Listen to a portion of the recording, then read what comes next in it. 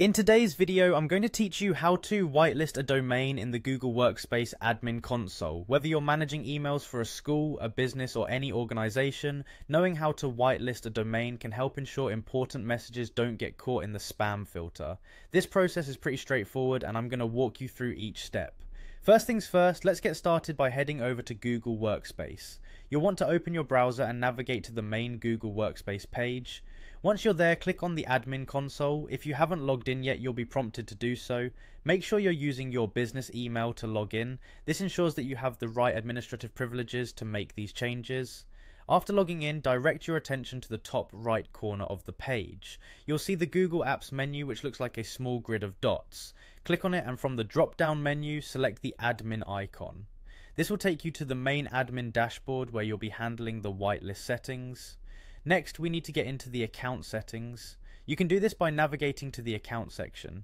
If you're having trouble finding it, you can use the search function in the admin console or follow the link provided within your admin console's general settings page. Once in the account section, look for the domains tab. This is where we'll be making the changes to your domain settings. Under domains, you'll find a section called Allow Listed Domains. This is essentially the list of domains you've explicitly approved and want to ensure none of their emails get marked as spam. Click on this section to proceed. Now we're ready to add the domain you wish to whitelist. Click on Add Domain. A text box will appear where you can type in the domain name. Make sure you enter the exact domain you wish to whitelist to avoid any misconfigurations. Double check for any typos, as these could prevent the changes from being effective. Once you're satisfied with what you've typed, click the Add button. This action will queue the domain for whitelisting within your Google Workspace account. The final step is to click Save to apply the changes.